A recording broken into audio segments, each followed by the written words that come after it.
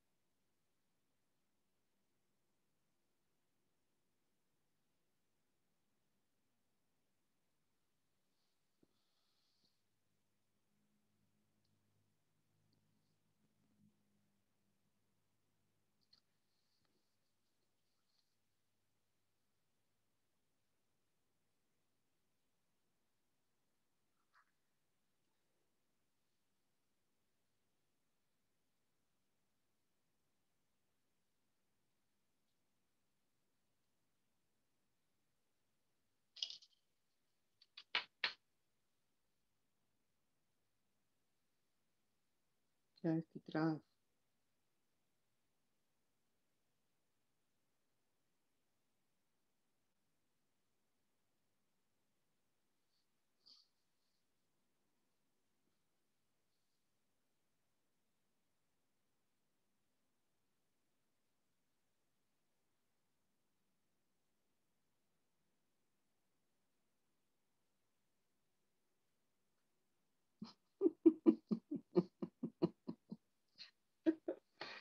さらでいいじゃない全然いいですよ、こんにちは。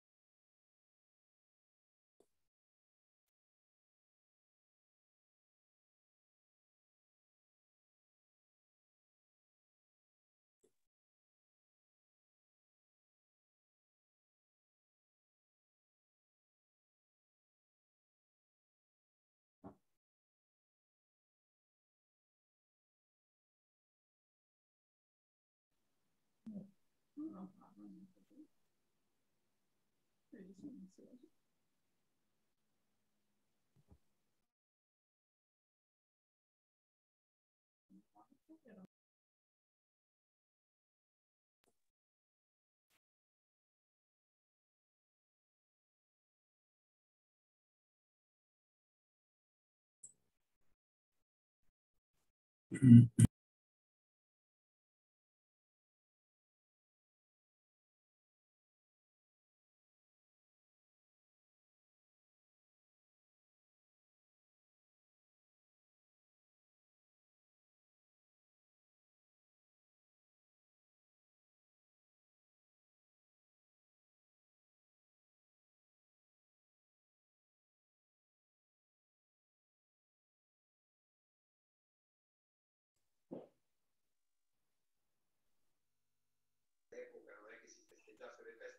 natalizie, però e non gli veniva in mente nulla, dice non posso presentarmi a Magiforte, poi non to.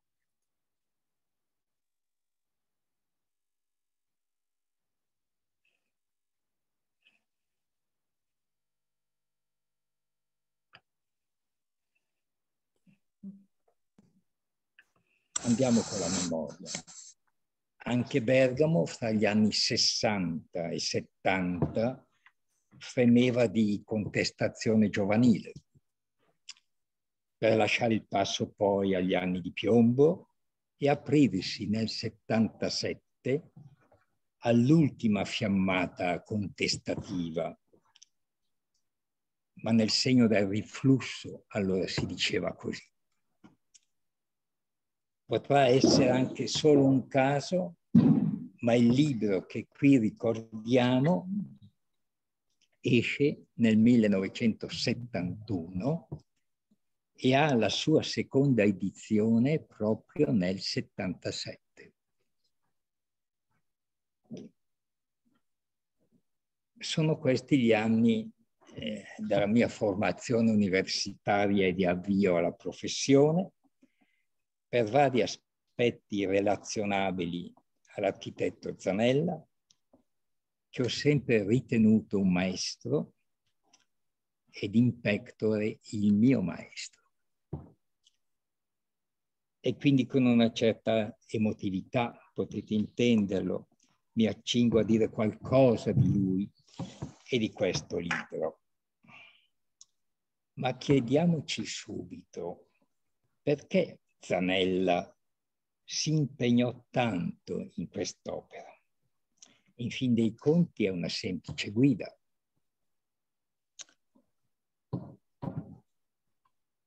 È lui a dircelo e da subito, addirittura dalla seconda di copertina che io vorrei vedere, magari. Siamo andati un po' innanzi. Vorrei mostrarvela, se è possibile, la prima immagine. in cui dice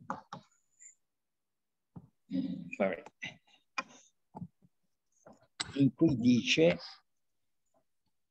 eh, sì, siamo andati un po' innanzi, ma fa niente, fa niente. Ecco, eh, non, è, non è importante, era solo richiamavo, ecco, un po' il, il testo, quindi che sta qui dentro, quindi non, non ha molto importanza. In cui dice che cosa in questa seconda di copertina? ci dice già quasi tutto. Dice, cos'è questo libro? È un invito a guardare la città come una modellazione della storia.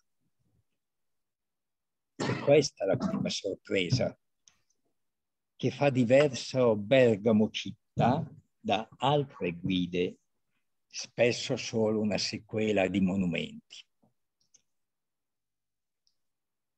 Noi siamo andati, non siamo andati al di là della copertina e già l'autore, mi sembra, dice tutto, anche forse indirettamente, ma di se stesso, che è sintesi e precisione.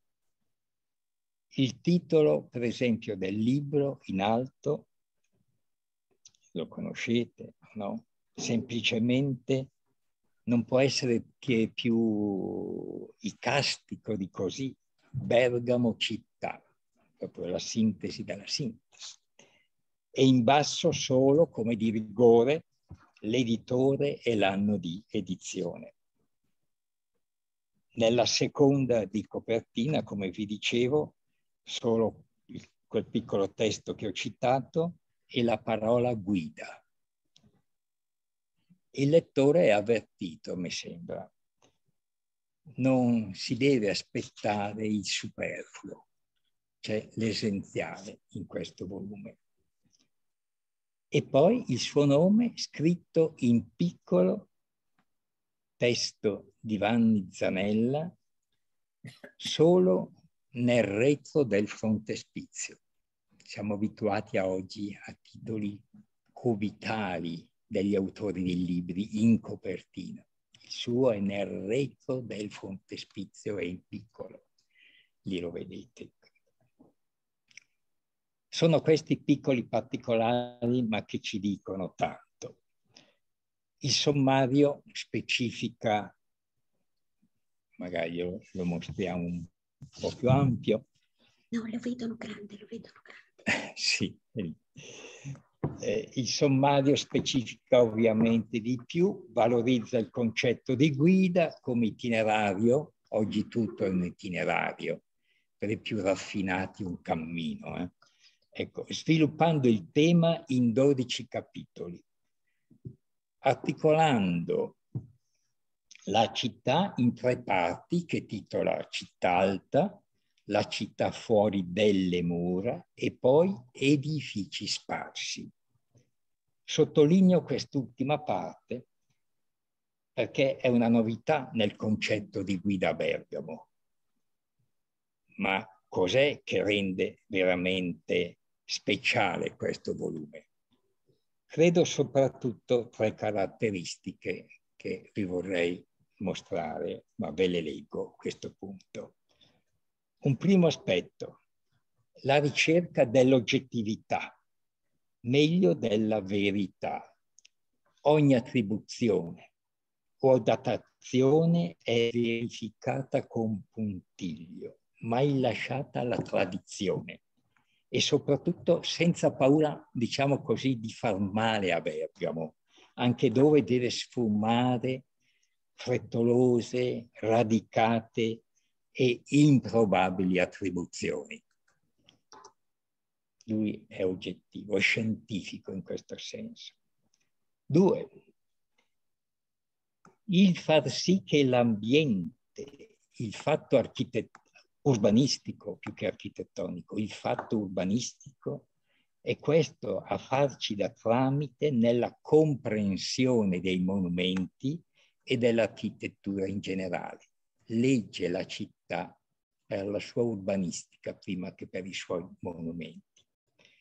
Terzo aspetto che credo fondamentale è la sua abilità di misurare le parole. Sono rarissimi i superlativi perché tutto è relativo e non c'è mai nel testo esibizione di sapere nessuna saccenteria. L'esposizione fila via così quasi come se fosse un racconto. Tre aspetti che dicono di lui. Esce la sua formazione culturale di architetto ed urbanista, ma col bisogno di tradurre la città con il mezzo della storia. Questo, dobbiamo leggere questo nel suo nel suo scrivere. Si manifesta pieno anche la sua vena didattica. Era un docente nato che ha operato in un periodo molto difficile della scuola italiana, gli anni 60 e 70, Ciò nonostante si spese per ben quattro istituti superiori dirigendo due licei avevo una foto un po' simpatica eh, che mi piace farvi vedere se la ritroviamo perché è lui, ecco, eccola qui, è lui con un gruppo di allieve al liceo, del liceo artistico, siamo nell'anno 1963, sono le prime maturate ecco, nella nuova istituzione che lui ha contribuito a fondare, anzi ha fondato, il liceo artistico. Siamo in via Salvecchio, nella sede storica del liceo artistico, dove ora c'è l'università. E nel cortile attorniato ecco, dalle maturande o maturate, ecco, eh, e c'è qualche insegnante qui là, lui al centro come giovane direttore ecco, del, del liceo, dell'istituto. In Bergamo città lui non illustra né descrive, spiega e sottolinea aspetti chiarificatori più che raccontare vicende. Questo è importante, credo. E lo fa con una modalità di scrittura che presuppone un dialogo con il lettore. In questo senso è lui a dare il passo di visita delle cose, da come le descrive. Vanni Zanella in questa guida introduce poi un'ulteriore valenza del nostro territorio. che chiama edifici senza città. È un modo arguto ed elegantemente provocatorio di sottolineare che ci sono anche le periferie e che nel bene o nel male costituiscono la terza componente della città e anche necessariamente della sua guida. Se c'è un'immagine, ma poco importa. Sì, eccola in cima, c'è scritto appunto edifici senza città, che è un bellissimo titolo. Eh? Chi dopo di lui, infatti, scrisse su Bergamo non poteva di considerare i corpi santi, cioè le periferie del territorio cittadino. Ma c'è di più. Fino a Bergamo città la quasi totalità delle guide era del tipo dell'arrivare a Bergamo, che io dico centripete, come la guida rossa del Turing, che magari vediamo.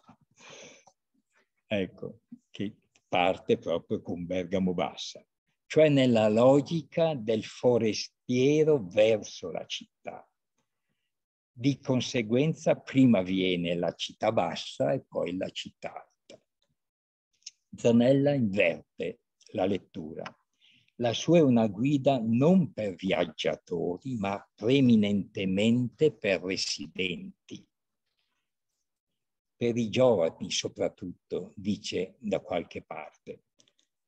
Espone così la città in senso storico-geografico, parte dal nucleo di città alta, passa poi alla città fuori delle mura ed infine agli edifici sparsi. Magari, ecco, vedete, coinvolge l'intero territorio comunale nell'ambito del, del volume copre così l'intero territorio, insegnando che cose riguardevoli si possono trovare ovunque. Basta saper guardare e seguire i sentieri della storia. Oggi consideriamo normale questa impostazione, ma non era così sul finire degli anni 60 il successo del libro, tra l'altro, è spiegabile anche per questo, per queste novità che ha introdotto. Si può comprendere pure qualche riserva, però.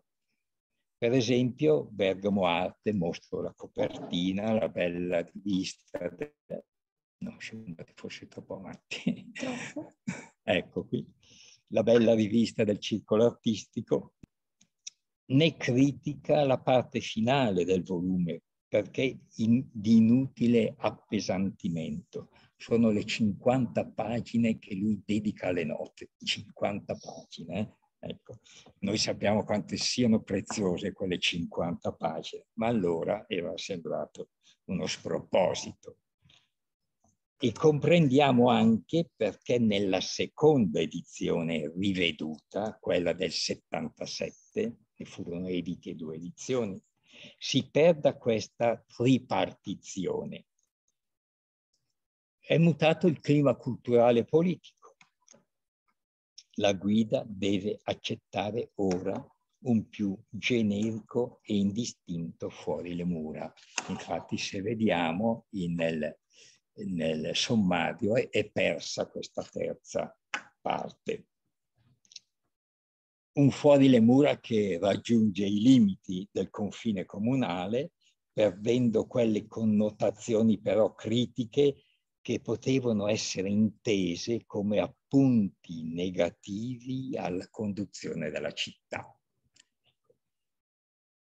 Ritengo che questa, diciamo, correzione di rotta sia stata voluta dalla nuova presidenza dell'azienda autonoma di turismo che era il finanziatore ed editore del volume stesso.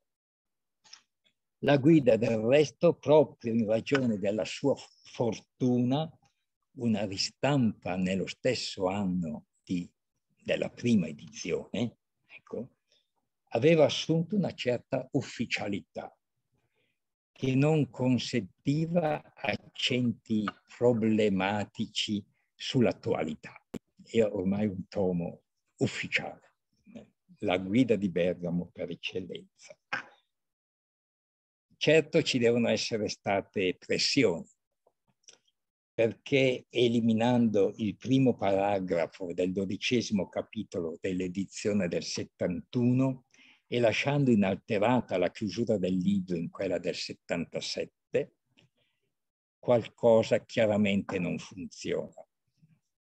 E non era da lui non avvertire certe discrasie. Ricordo di quel periodo che mi chiese se avevo osservazioni da fare per la nuova edizione e mi sembrò preoccupato. Io non osando entrare nel testo, gli esposi in modo, gli risposi, ecco, in modo diciamo alquanto banale, devo ammetterlo, che avrei aumentato le illustrazioni. Ecco, non volevo mettere mano nel corpo vivo della questione. Eh, cosa che in effetti fece. Infatti passarono da 12 a 47 e che avrei indicato nelle piante delle chiese anche le opere di minore importanza. Suggerimento anche questo che accolse.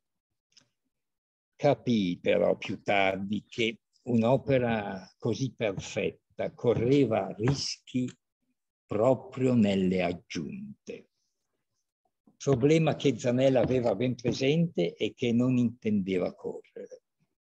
Tanto è vero che il testo, nella nuova edizione, viene toccato pochissimo e lo stesso si dica nell'edizione del 1999, preparata ma mai editata. Ecco, nel suo archivio abbiamo trovato proprio un documento che qui mostro, che in cui presenta all'azienda la, la, diciamo, la nuova versione della, la ter- per la terza edizione, ma che non ebbe poi seguito pratico. Ecco, nel chiudere questo mio modestissimo intervento, devo rinunciare all'impegno che mi ero proposto di non cadere in ricordi troppo personali. Lo faccio ora e dovete scusarmi perché è cosa abbastanza legata al tema. Vi dico questo, quando nel giorno del funerale di Graziella, è stata citata prima, andai con una comune a trovare Vanni, lo vedemmo in una condizione di estraniazione totale e in una postura di chiusura in e su se stesso. Usciti l'amica, passata la commozione, esordì. C'è da sperare che il Signore lo chiami a sé. Mi sorpresi di non aver avuto quell'estrema sensazione, essendo tuttavia anche a me sembrato come accartocciato in se stesso usai proprio questo termine, accartocciato. A distanza di un mese ebbe ragione lei. Vanni ci lasciò per sempre. Non molto tempo dopo, visitando il suo archivio, mi si parò davanti agli occhi questa scritta che vi mostro. Periplo delle mura era il titolo di una scatola che conteneva appunti e materiali per il capitolo primo di Bergamo città. Fu un tuffo al cuore perché mi tornarono alla mente alcuni giri fatti insieme lungo le mura, il nostro arborato cerchio, per dirla alla D'Annunzio, che Vanni descrisse così bene nel libro e che voglio citare dove e come descrive via, eh, la Fara, la zona della Fara. Possiamo vedere il testo, ma se ve lo leggo. Dice, Sulla destra, oltre la fila di annosi platani, il parapetto lungo il viale delle mura toglie dalla vista i quartieri bassi della città, ma lascia scorgere tutta la catena delle prealpi, così che ogni parte concorre a produrre un senso insieme di raccolto e di dilatato. Per lo stacco fra la grazia casalinga di questo ambiente e quelle lontananze azzurrine e per l'eco che questo breve anfiteatro trova nell'arco delle montagne. Non vi è in Bergamo Alta un altro luogo che ripeta in questa dimensione un analogo effetto. Qui la città diviene spettacolo a se stessa, rincalzo di rimandi favolosi, se davvero ai piedi del colle dove sorge la rocca ci fu nel millennio prima di Cristo un insediamento di popolazioni liguri, la prima cellula della città. Ricordai in proposito in quel luogo che ci spiaceva, ma senza dircelo, calpestare quelle belle grandi foglie gialle e accartocciate che l'autunno aveva appena posato a terra. Il nostro era di conseguenza un camminare a dir poco buffo, quasi saltellante come fanno i bambini. Facevamo finta di niente e lui continuava ad accarezzare con lo sguardo i particolari degli edifici e dell'ambiente lungo il periplo delle mura. Notazioni che così tradusse in Bergamo città e cito riferito via Boccola.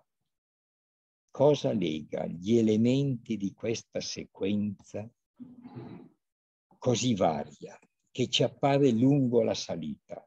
Probabilmente il contrasto tra la corona ariosa delle montagne sulla destra e a sinistra la fitta e alta cortina del nucleo urbano, due quinte visive di opposta natura, tra loro incompatibili e ciascuna a suo modo misteriosa, quasi un camminare sul confine di due mondi, quello della natura e quello della storia.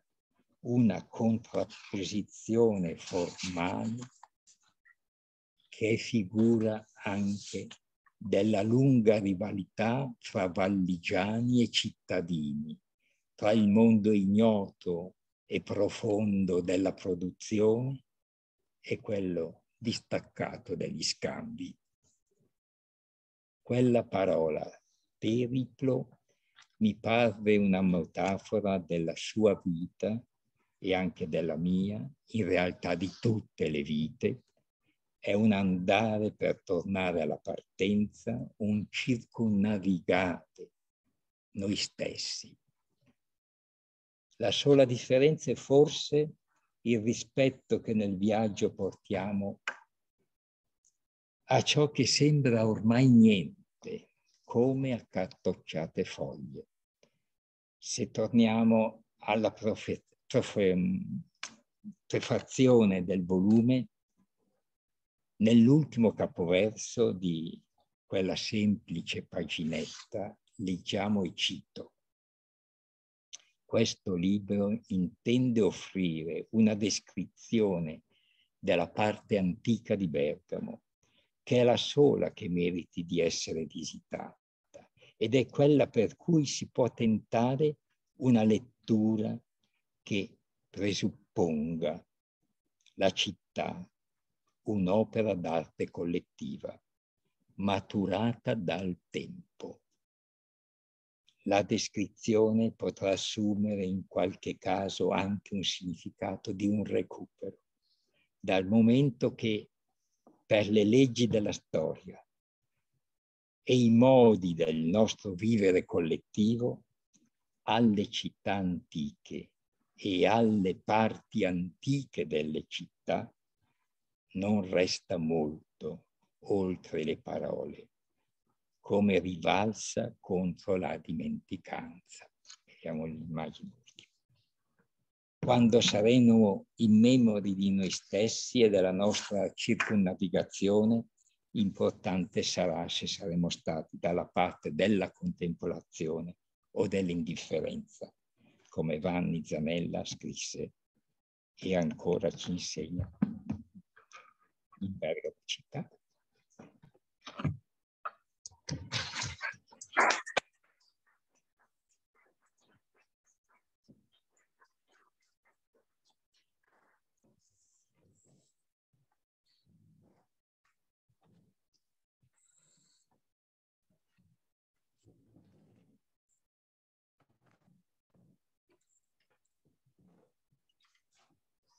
Ecco, scusate, scusate i turbamenti tecnologici che io non riesco assolutamente a governare.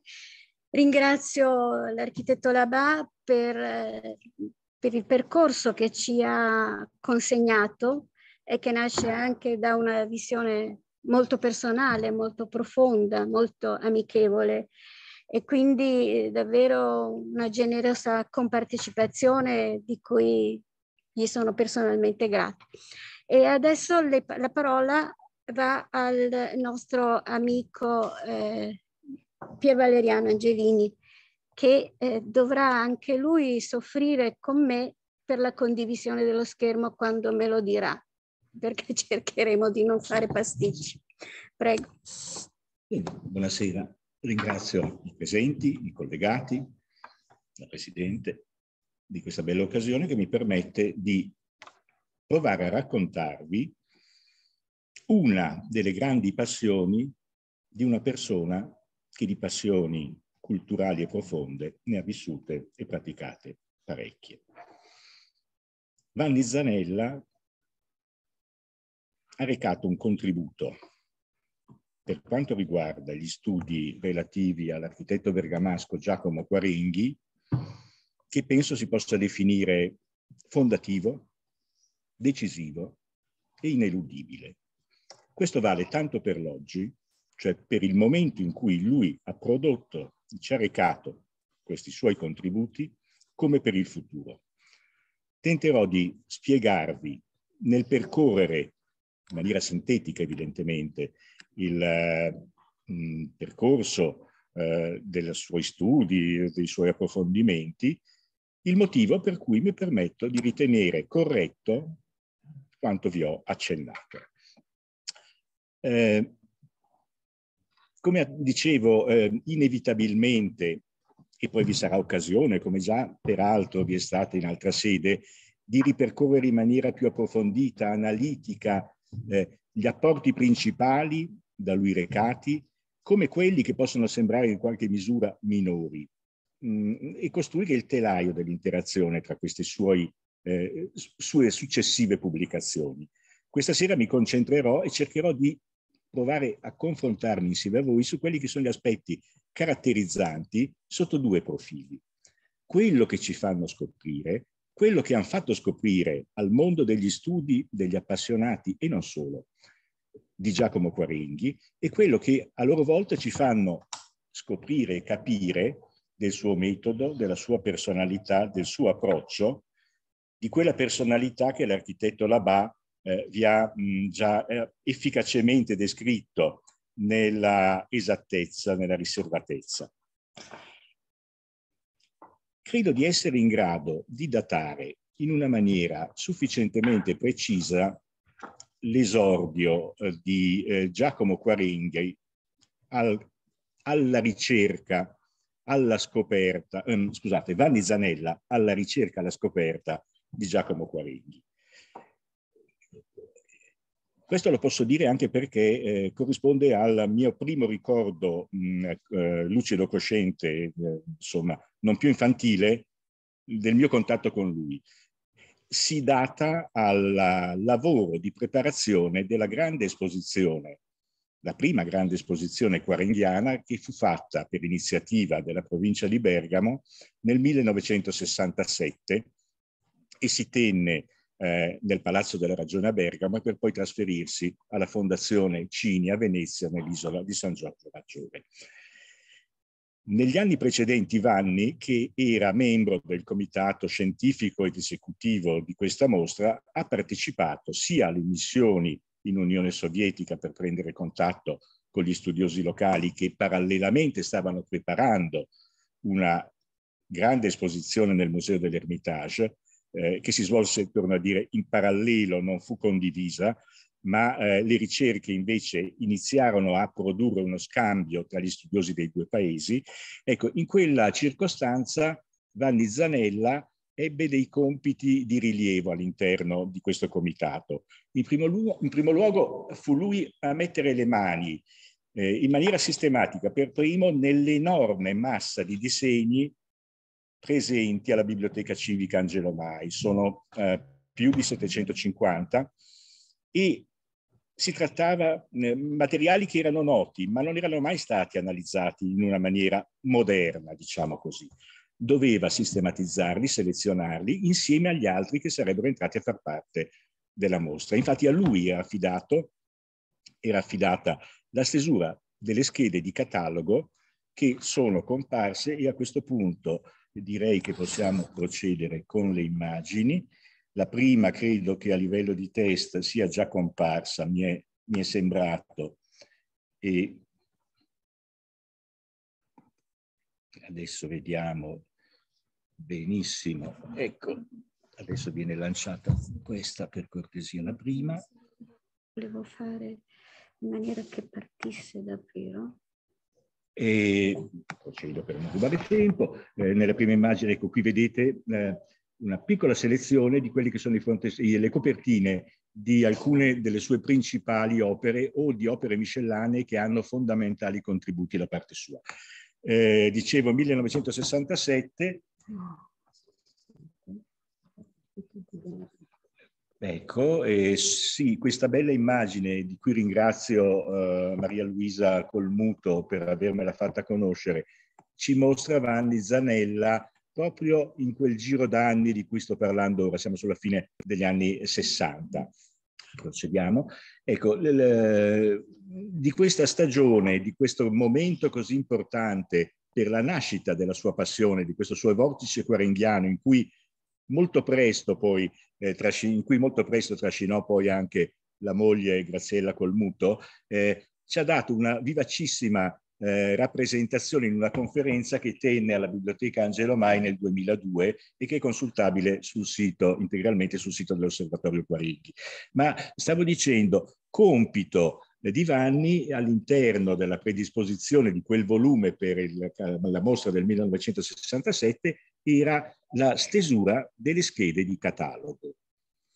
Eh, e qui incominciamo di nuovo a selezionare qual è il suo metodo, il suo approccio. Allora, al di là di quelli che sono i contenuti estrinseci della scheda, quindi eh, individuazione eh, del soggetto, eh, definizione dal punto di vista del disegno d'architettura piuttosto che di veduta, di cosa si tratti, incominciamo a vedere in questa immagine come eh, il disegno rimandi a un sistema di opere e quindi a, un, a una storia di queste opere che ha dietro uno spessore. E allora spesso si ripetono le citazioni dal Fabbriche di Geni, opere a stampa fatte dal figlio di Giacomo Giulio Quarenghi, opere ottocentesche, e quindi in qualche misura di nuovo incominciamo a capire come la dimensione della storia diventi per lui fondamentale rispetto alla semplice analisi dell'elemento architettonico, lui architetto, o addirittura della valutazione della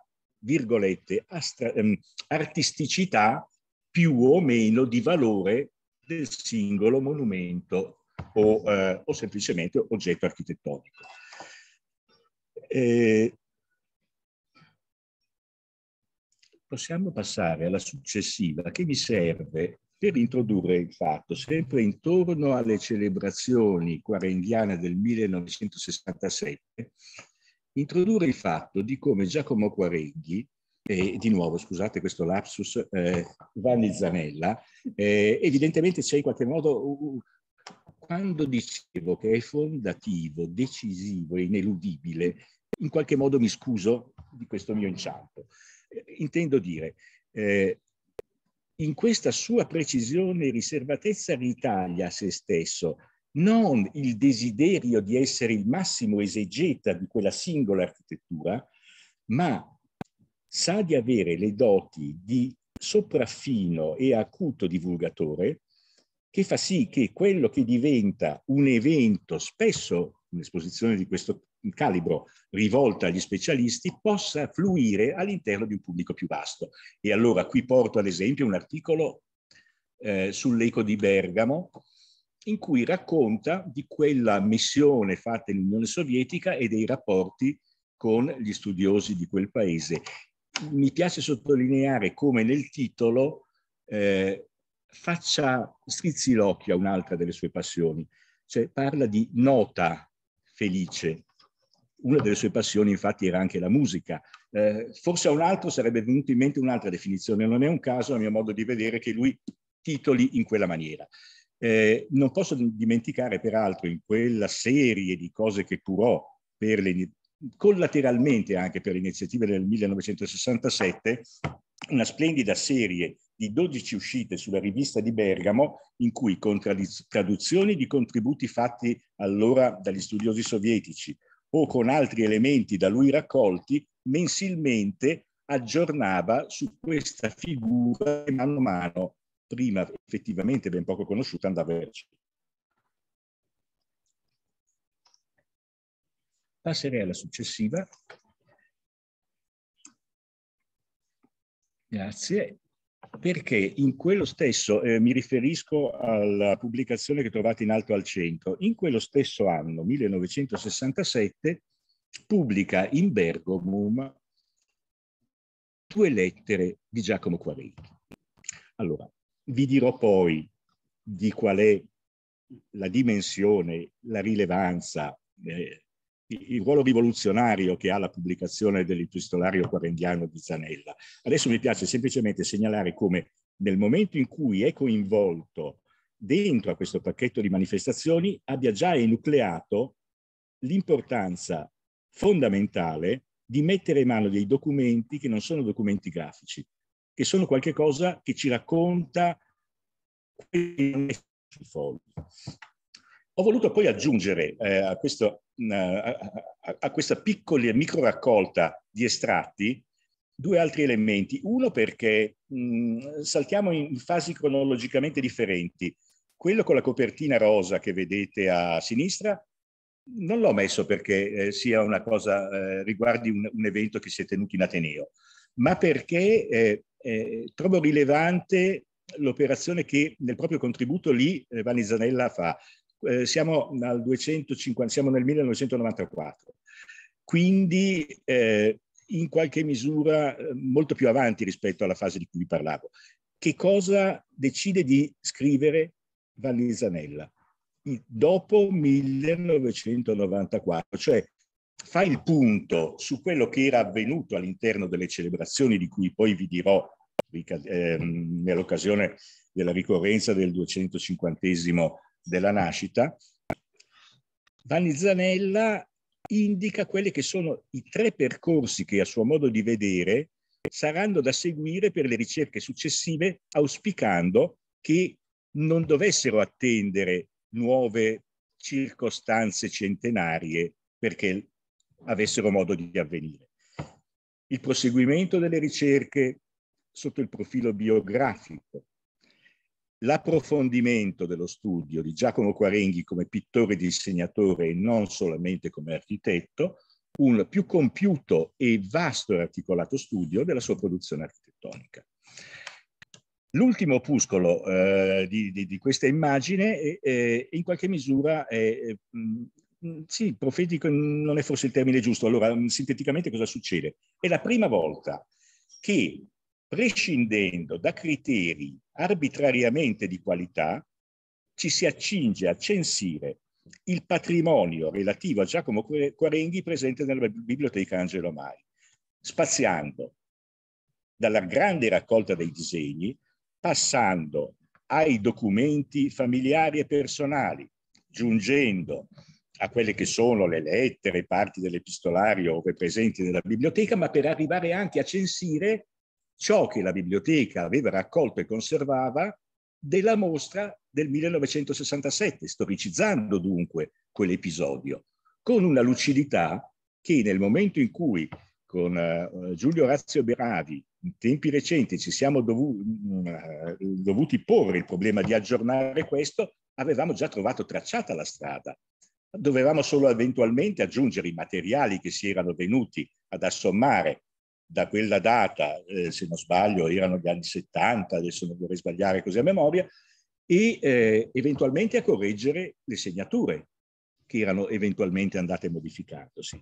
Ecco, questo per dire come nella visione di Vanni Zanella questo patrimonio conservato dalla nostra città fosse qualcosa che andava a tutto campo ad arricchire la conoscenza dell'architetto, non solo dal punto di vista delle qualità artistiche dei materiali conservati. Provo a passare oltre, vediamo Maria se ce la sì, faccio. Sì, ce la facciamo. Eh, succede che 1982 Vanzi Zanella si trovi con la direzione della biblioteca a valutare la possibilità di aumentare la conoscenza di Giacomo Quarenghi dal punto di vista degli studiosi russi. In quel momento non erano disponibili traduzioni di nessuna, ne esistevano comunque già due precedenti eh, di, di, monografie su Giacomo Quarenghi edite in Russia, nessuna delle quali tradotta. Arriva a avere a disposizione la pubblicazione fatta nel 1977 di una monografia che era stata stesa da Milica Korshunova, che era diventata specialista di Giacomo Quarenchi e dei suoi disegni per il Museo dell'Ermitage. Vanni conosceva Milica dai tempi della mostra del 1967, quando Milica era una giovanissima ricercatrice che stava iniziando a studiare il disegno d'architettura. Erano rimasti in contatto dopo le visite d'allora delle delegazioni bergamasche e propone quindi eh, Vanni Zanella alla biblioteca di far tradurre e pubblicare per la prima volta una biografia una monografia anche biografica su Giacomo Quarenghi in Italia. La cosa avviene proprio per interessamento e attivismo di Vanni, eh, il quale per questo volume naturalmente scrive una ottima prefazione che permette al lettore italiano di situare in una serie di contesti più precisi il contributo che viene offerto tradotto. Ma mi, mi si lasci dire, alla sua maniera, con la sua precisione eh, leggera, sottile, in appendice pubblica uno di quegli strumenti a cui ancora si ricorre quando rapidamente c'è necessità di arrivare al bersaglio di quello di cui si occupa. Una piccola appendice breve, ma assolutamente esaustiva e precisa, sulle opere architettoniche di Giacomo Quarenghi a Bergamasca, realizzate o non realizzate o documentate semplicemente da fonti forse dirette spesso come nel caso dell'architetto. Di nuovo, ecco, questo ci racconta di questo suo procedere per un accumulo che è però concluso in sé, cioè non è, ve lo dico alla prossima puntata, è un piccolo mattone con cui inizio a costruire in maniera sistematica, agile e infatti ancora fruita, fruibile, anzi dovrei dire necessaria, quest'opera. Passerei alla successiva perché qui adesso incominciamo a calare carte pesanti. Eh, probabilmente forzo, ma a mio modo di vedere le due cose decisive, a cui però si aggiunge tutto questo universo che ho cercato già di accennare, sono l'inventario dei disegni eh, di Giacomo Quarenghi presenti nella Bergamasca e il volume con l'addenda delle lettere di cui dirò poi.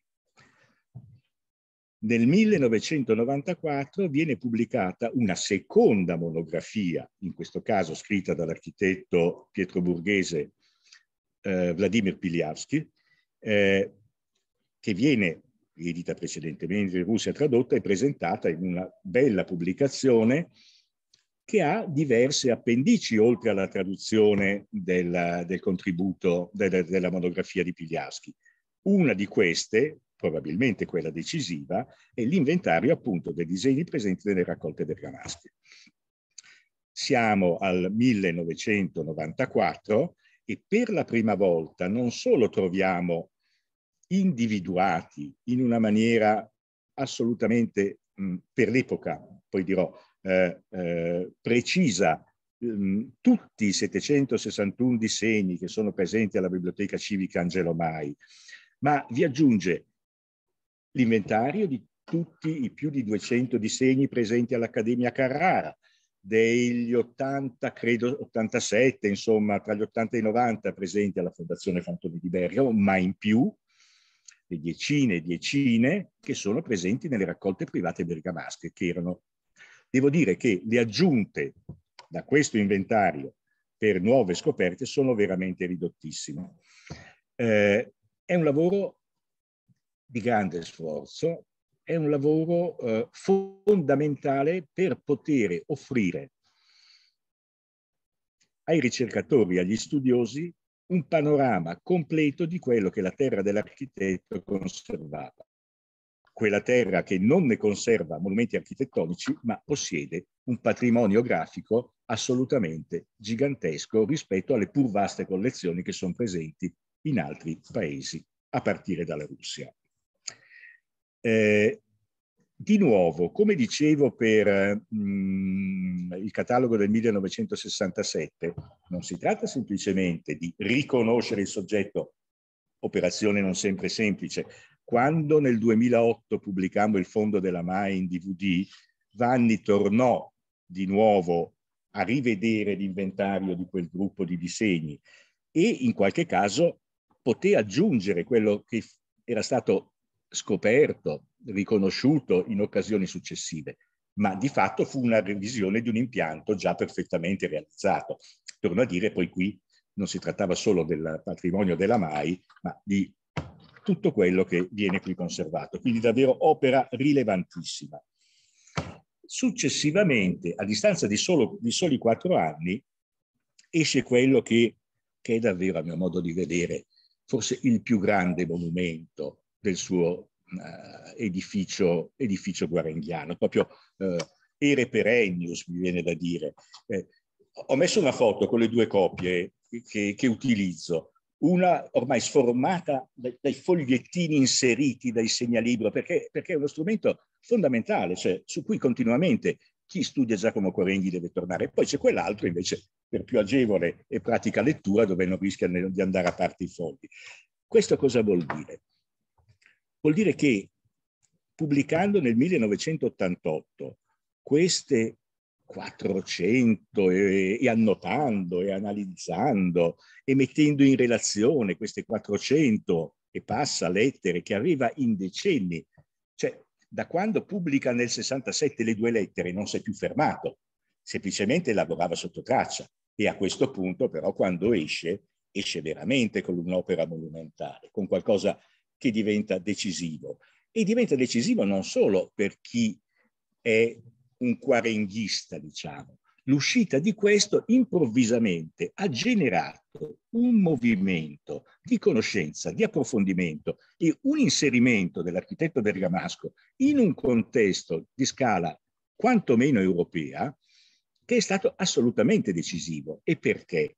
E qui di nuovo andiamo a trovare quello che è la personalità di Vanni in questo suo metodo d'agire, proprio perché lui non si occupa dei monumenti. I monumenti fanno parte del paesaggio, ma non sono il paesaggio. E allora eh, il Palazzo di Alessandro o la, eh, la come posso dire, eh, eh l'Accademia la, delle Scienze lungo le Anneva a Pietroburgo, certo che sono di Giacomo Quarenghi, ma non sono Giacomo Quarenghi.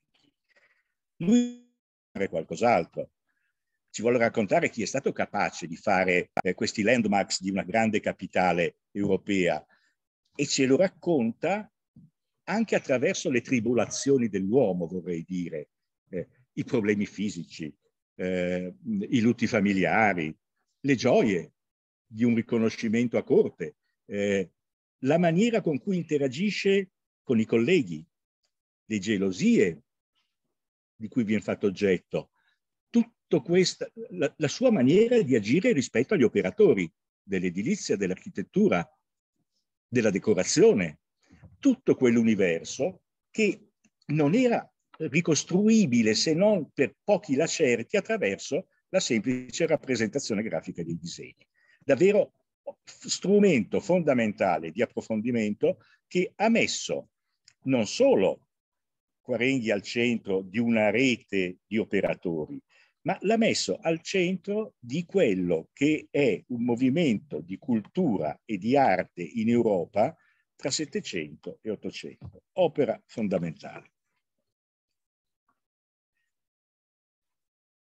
Passiamo alla prossima perché a questo punto stiamo arrivando a ridosso di un'altra ricorrenza centenaria, 1994, 150 anniversario della scomparsa di Giacomo Quarenghi.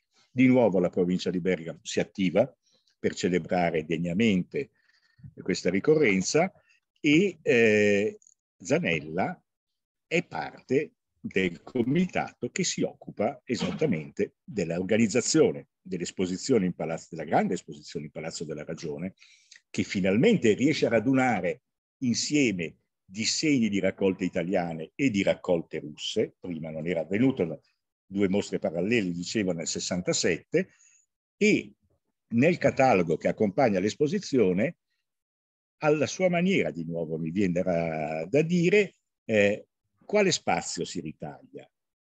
Ci parla di ragguagli quarenghiani, non ci vuole raccontare eh, di nuovo eh, eh, eh, il classicismo severo, secondo la definizione russa di quel decennio, oppure eh, il passaggio verso lo stile impero. No, ci racconta di lui, Giacomo, il suo rapporto con la città, le sue due carriere, la carriera a Roma e poi la carriera in Russia, ci racconta di nuovo l'uomo, le sue vicissitudini, la sua grandezza, perché non ci parla mai della sua miseria, perché la miseria non la vede, perché miseria non ce l'è.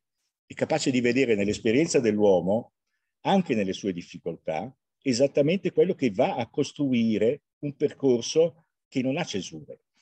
E quindi questo è il contributo che dentro a questo volume ci reca e ce lo reca di nuovo, e qui riprendo quanto accennavo, sapendo che quello sarebbe stato uno dei capitoli di questo volume Electa che sarebbe arrivato con più facilità al lettore non specialista. Era forse quasi da leggere prima rispetto agli approfondimenti che poi sono stati recati rispetto al disegnatore vedutista o all'architetto. Questo è lo spazio che lui ha deciso di tenere per sé.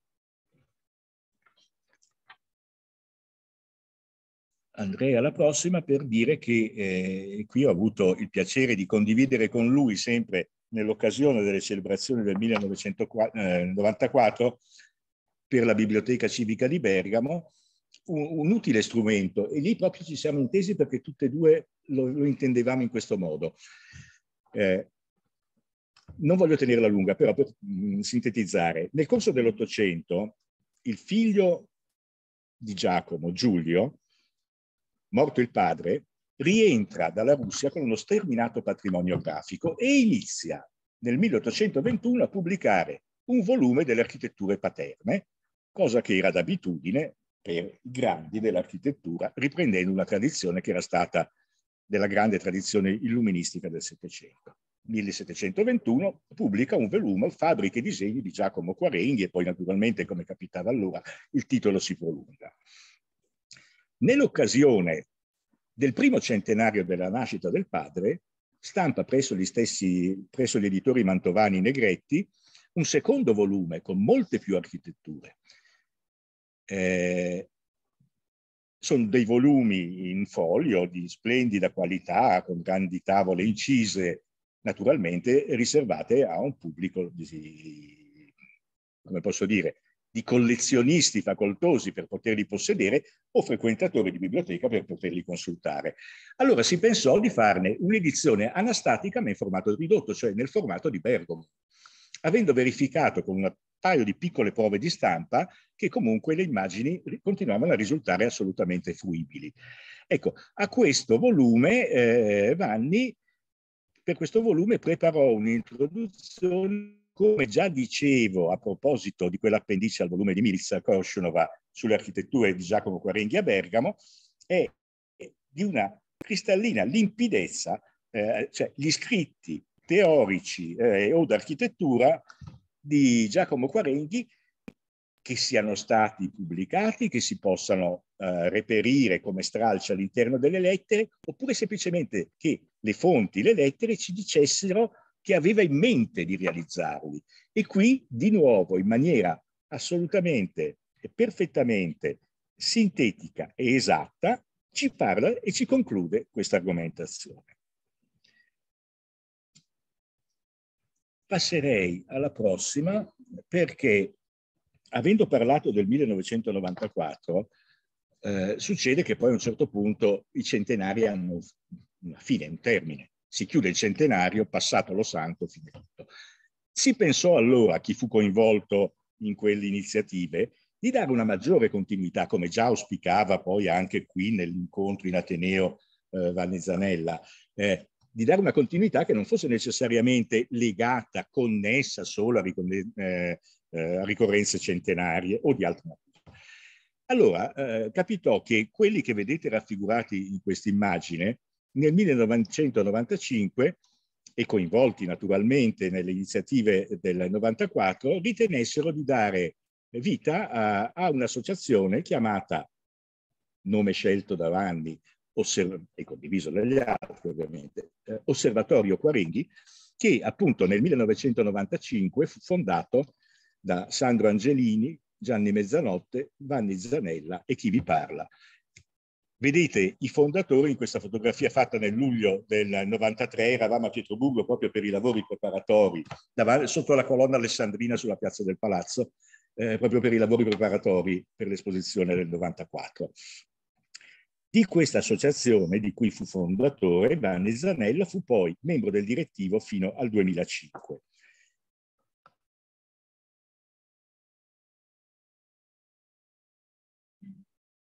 Eh, il primo esito, in qualche modo, pubblico, editoriale, scientifico, del gruppo di lavoro che si era riunito intorno all'osservatorio Quarenghi fu pubblica, lo studio e la conseguente pubblicazione del catalogo completo della raccolta di disegni di Giacomo Quarenghi che si trova al Castello Sforzesco di Milano.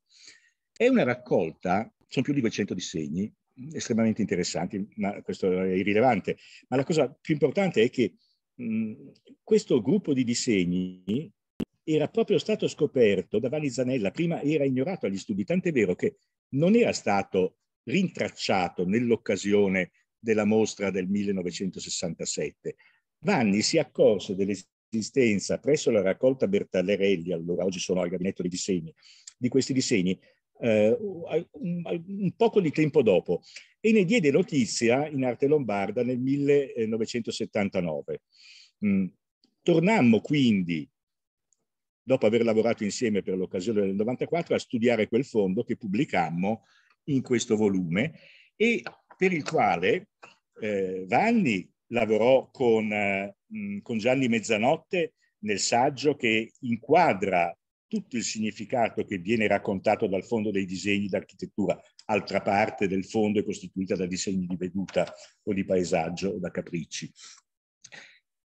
Ma mi piace sottolineare che un ruolo fondamentale in quest'opera di studio, in questo volume, lebbe Graziella Colmuto, che fu autrice di un numero grandissimo delle schede di catalogo del fondo di architettura. Quindi in, questa forse è la prima volta che li vediamo collaborare insieme con, con questo, ciascuno ritagliandosi un proprio differenziato ruolo, ciascuno con un enorme impegno. Possiamo andare avanti perché sto avviandomi alla fine. Eh, nel 2008, ehm, qui in Ateneo, la cosa nasce nel 2007, lanciamo un'iniziativa che chiamiamo delle liaison fructueuse, in cui andammo a sondare il rapporto, non dico che utilizzammo Giacomo Quarenghi come un pretesto, ma provando ad andare a sondare il suo rapporto con la cultura musicale sotto ogni sfumatura, teatrale, in senso proprio della musica e così via, dei personaggi coinvolti e così via, andare a sondare quali erano eh, i rapporti che egli aveva intessuto con questo universo della musica con cui lui, appassionato di musica, aveva convissuto per tutta la sua vita. Nell'occasione di questo percorso così eh, molto articolato e sfaccettato di iniziative che si tennero, eh, Vanni con Bruno Cassinelli organizzò nel chiostro di Santa Marta una mh, mm, travolgente, vorrei dire, dalla capacità di comunicazione fortissima, un'esposizione che ci raccontava questo suo percorso di vita, di cultura ed arte. E nel contempo, all'interno degli atti, dove naturalmente anche Graziella eh, lavorò, facciamo una cosa insieme su Giacomo Quarenghi, scenografo, è stata una collaborazione splendida, eh, portò un bel approfondimento dei rapporti tra Giacomo, cioè sulla figura di Alessandro Barca, docente di architettura all'università, figura poliedrica anche questa come proprio dei tempi, eh, docente di architettura alla neonata scuola d'architettura dell'Università di Pavia e autore di un saggio eh, sulle proporzioni, sul bello che viene dedicato proprio a Quareghi. Ma mh, mm, questa foto che vi propongo è per continuare a seguire, a riprendere un attimo il filo delle lettere. Ne ho parlato già prima, ma questo eh, fiume carsico della passione per le lettere aveva già avuto l'occasione di un altro paio di risorgive. Ad esempio, eh, aveva pubblicato, aveva ritrovato un gruppo notevole, una quarantina di lettere eh, in un fondo che viene a pubblicare nella rivista dell'Istituto mm, di Archeologia e Storia dell'Arte di Roma. Di nuovo, un piccolo tassello che però di nuovo paf, accende un nuovo faro, precisa una serie di cose, apre delle, delle direzioni di ricerca che prima proprio non erano state, non era possibile sondare. E anche in altre circostanze questo avviene. Ma la continua frequentazione di Pietroburgo, qui vedete Vanni con Graziella e in mezzo quello Milica Korshunova, di cui vi ho fatto cenno, specialista di Giacomo Quarenghi al Museo dell'Ermitage. Ecco, in queste frequentazioni si sta preparando una, una, nuova, una, nuova, una nuova opera, una nuova uscita. Attraverso gli amici pietroburghesi riesce a prendere visione, a fare le trascrizioni, a avere le fotografie del fondo di lettere di Giacomo Quarenghi e a Giacomo Quarenghi che si trovano alla Biblioteca Nazionale di Russia di San Pietroburgo. E qui prende avvio quello che è il loro ultimo lavoro insieme.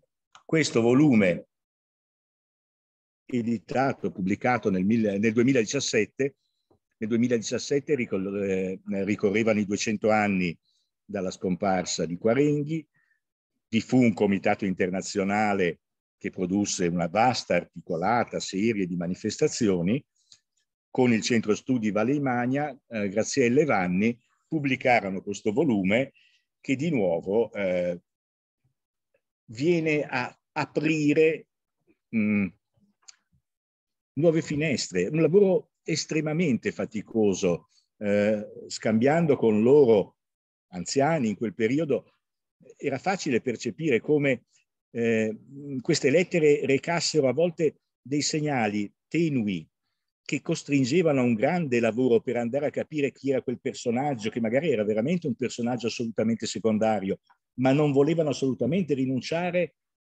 lasciare lì la cosa senza andare in fondo. E allora tentare di seguire questi fili eh, è stato veramente qualcosa che li appassionava e li ha anche affaticati indubbiamente.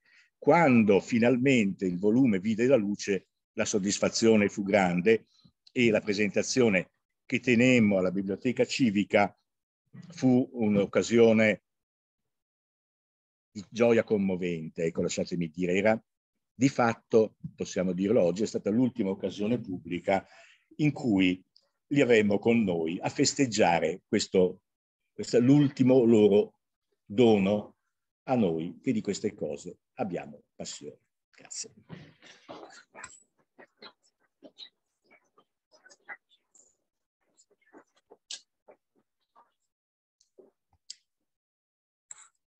Bene, ringrazio eh, Pier Valeriano Angelini anche per questa occasione che ha creato e mi scuso per tutte le interruzioni e i problemi che ci sono stati, ma anche questo fa parte del nostro modo di affrontare questi temi.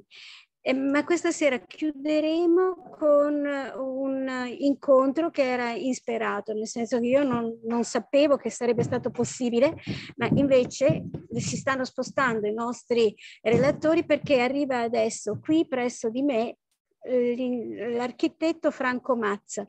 E Franco Mazza, tornando dopo il tema quarenghiano a Bergamo città, è l'autore dei disegni, perciò Franco se vuoi venire qui, è l'autore dei disegni del, della, guida, della guida Bergamo città e è qui a raccontarci la sua esperienza, il suo essere stato lo seguiamo davanti.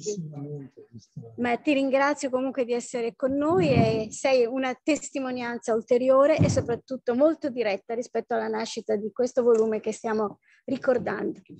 Sì, è veramente, è veramente una sorpresa è stata quando ho saputo che c'era questa, eh, questa, questa riscoperta di questo Bergamo città, perché sono passati 50 anni però eh, sia allora che andandolo a rivedere oggi, perché questa è stata anche l'occasione per andarlo a riprendere nella biblioteca del mio studio e riguardarlo. Eh, mi sono reso conto anche che eh, questa guida è una guida assolutamente innovativa, nel senso che eh, supera quelle che erano le caratteristiche delle guide fino a quell'epoca, ma anche di molte guide di oggi, cioè quelle di eh, riferirsi soltanto alle parti monumentali più importanti, più da cartolina, più, eh, più così, più eh, che fanno scena. No? Il, il, il, questa guida invece è una guida che conduce il, turista o soprattutto il eh, cittadino bergamasco lo conduce a piedi a fare un giro per la città scoprendo la molteplicità delle presenze di queste cose che alternano monumenti fondamentali assolutamente eccezionali anche a livello eh, italiano, potremmo dire per certi versi europeo, eh, tipo Piazza Vecchia, tipo Santa Maria Maggiore, tipo queste cose che tutti noi conosciamo, ma che però segnala anche tutta una serie di presenze che sono presenze assolutamente, diciamo, importanti e che contribuiscono a rendere la città un insieme che si, eh, si è andato costruendo nella storia ma che diventa assolutamente eh, fondamentale perché eh, gli edifici eh, monumentali, quelli che si vedono nelle cartoline, se fossero da soli e non fossero in un contesto di edifici spesso dello stesso periodo, ma anche edifici che si sono aggiunti e che si sono per, per concludere questa dimensione ambientale, eh, sono, sono, cose che eh, costituiscono il valore di un centro storico, il valore di una città. E questo credo che sia una cosa importante perché non tante guide si occupano della passeggiata lungo via Pignolo, lungo via 20 settembre, lungo eccetera. Seconda cosa che volevo segnalare è il fatto che eh, mentre molte guide di allora, ma anche, ma anche poi dopo, si sono eh, riferite alla, alla città alta, per dire, e basta, eh, questa guida Fanny Zanella ha avuto la, la percezione geniale dell'andare, dell'andare, a occuparsi di tutta la città.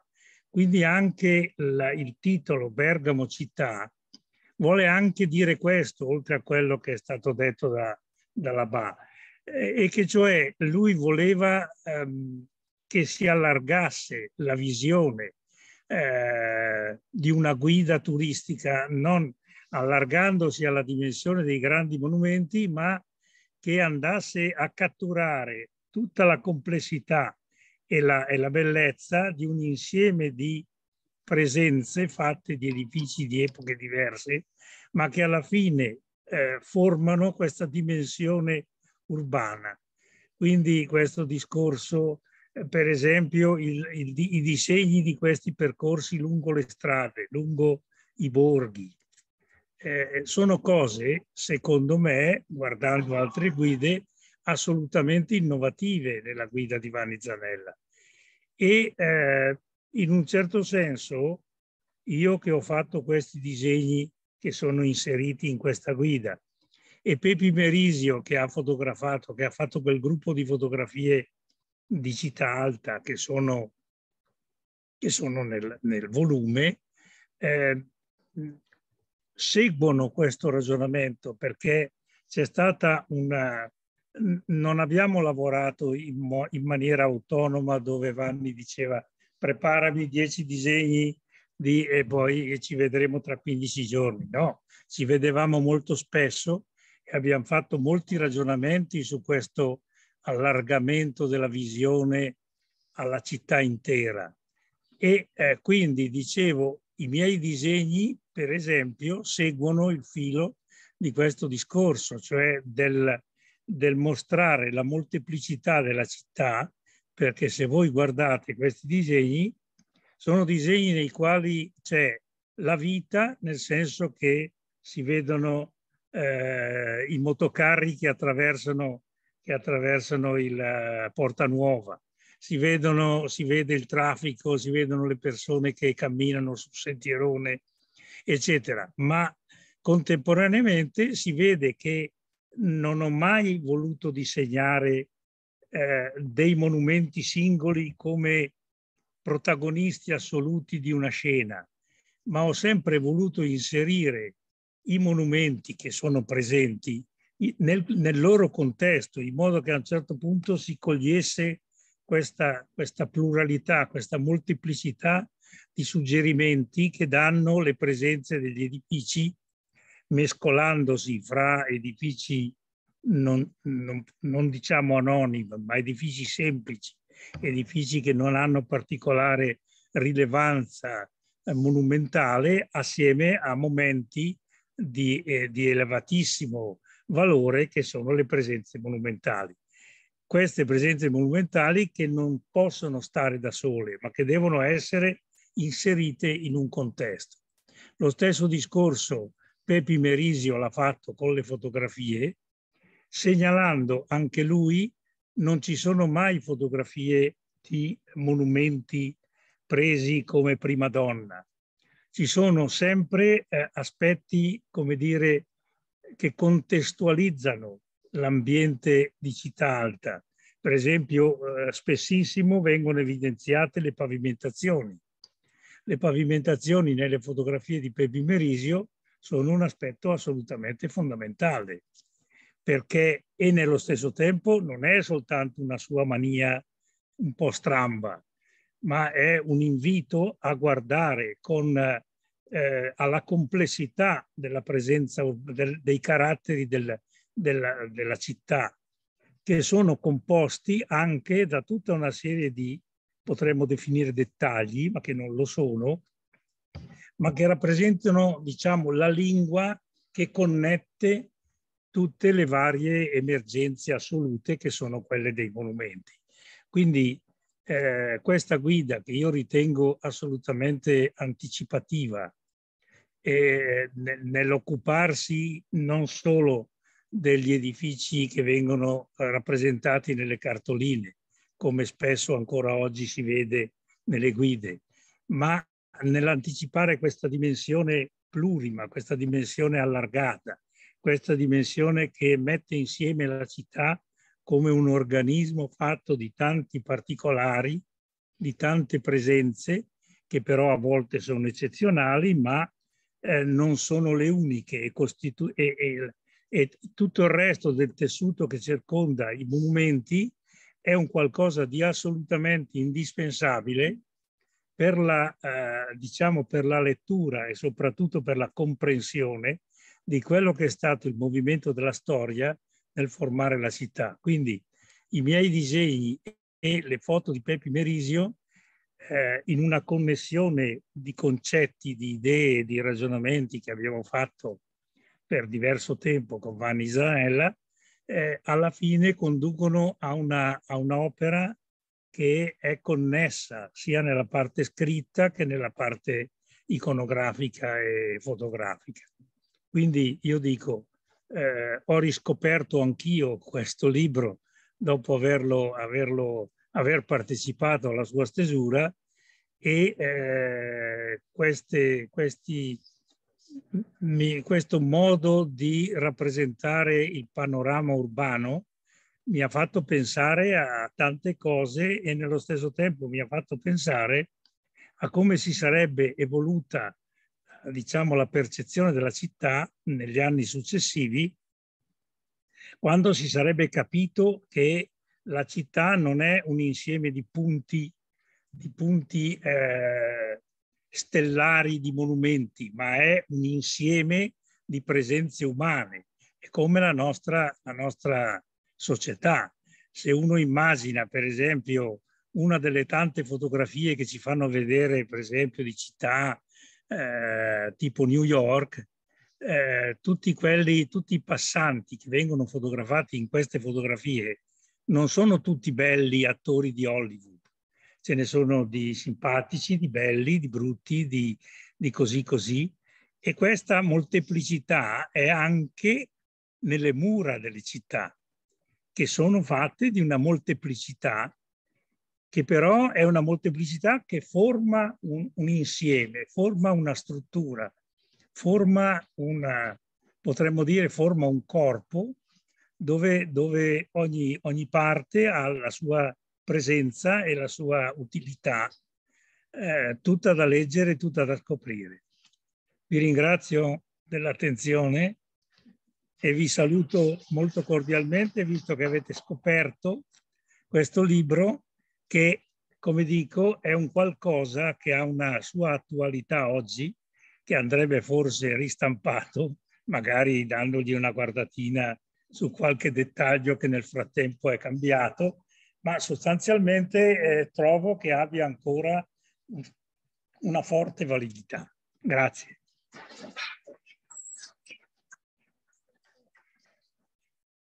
Eh, grazie anche a Franco per averci dato questa sua testimonianza. Eh, abbiamo fatto tardi, però a me tocca, oltre che ringraziare chi ha partecipato e ha partecipato in tutti i sensi, a me tocca anche dire una cosa che per l'Ateneo è molto importante. Eh, negli ultimi anni proprio Graziella e Vanni hanno dato all'Ateneo alcuni documenti e soprattutto dei loro appunti su un tema a cui tenevano moltissimo e che avrebbero voluto sviluppare, cioè quello della città del lavoro, la città dismessa. E quindi questi loro appunti che avevano poi concretizzato, soprattutto Vanni aveva concretizzato in una rappresentazione molto sintetica che aveva preso il volto di una grande carta che si può interrogare, questi appunti sono davvero lo, lo stimolo e speriamo che l'Ateneo riesca a portare a termine le loro ricerche, lo stimolo per raccontare davvero un'altra parte della città, la città fuori dalle mura, ma anche la città ormai nascosta, i cui segni però sono ancora percepibili, visibili e che hanno condizionato anche la crescita della, della città successiva. Quindi eh, ci toccano, ci toccano questi compiti, speriamo di riuscire a portarli avanti. Sono contenta che si sia creata la possibilità di fare questo ricordo che è, come tutti voi avete sostenuto, un invito a ripensare non solamente sul piano sentimentale o eh, della memoria a ripensare le visioni di un personaggio come Vanni Zanella. E vi ringrazio tutti, ci sono molte chat che adesso eh, non so, c'è qualcuno che, che, manda qualche cosa, però io non riesco per, a vederle tutte, le, ve le segnalerò eh, quando eh, le avrò lette. Comunque vi ringrazio, ringrazio anche coloro che hanno partecipato con le chat, ringrazio quelli che sono stati presenti con noi e ci sentiamo la prossima volta. Grazie.